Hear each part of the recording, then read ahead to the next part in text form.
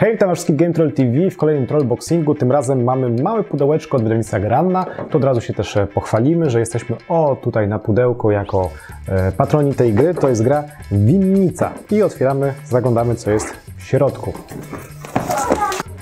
I zaglądamy do środka pudełka. W środka pudełka mamy oczywiście krótką instrukcję, aczkolwiek pisaną drobnym maczkiem. Tutaj duży notes, na którym będziemy e, rysowali trasy do winnic, tak jak tutaj jest pokazane na pudełku z tyłu. Będziemy coś takiego właśnie rysowali. Według kart, które o, są tutaj e, pokazane z różnymi trasami.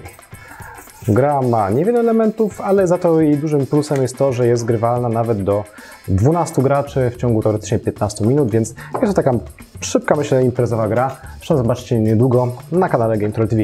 Hej! Jeżeli podobał Ci się ten film, nie zapomnij kliknąć trolla, żeby subskrybować nasz kanał.